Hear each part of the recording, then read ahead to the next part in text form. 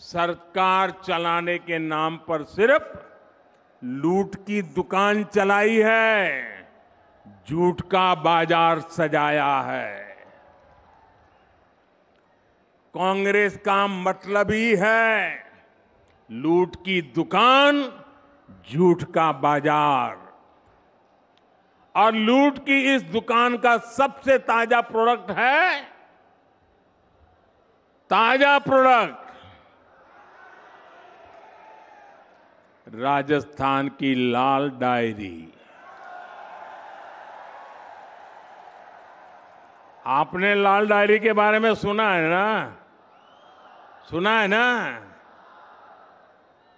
कहते हैं, इस लाल डायरी में कांग्रेस सरकार के काले कारनामे दर्ज है।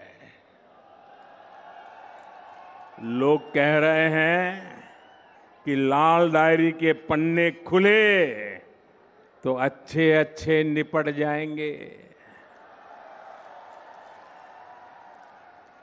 कांग्रेस के बड़े से बड़े नेताओं की इस लाल डायरी का नाम सुनते ही बोलती बंद हो रही है। ये लोग भले ही मुँह पर ताला लगा ले, लेकिन ये लाल डायरी इस चुनाव में पूरी कांग्रेस का डिब्बा गोल करने जा रही है।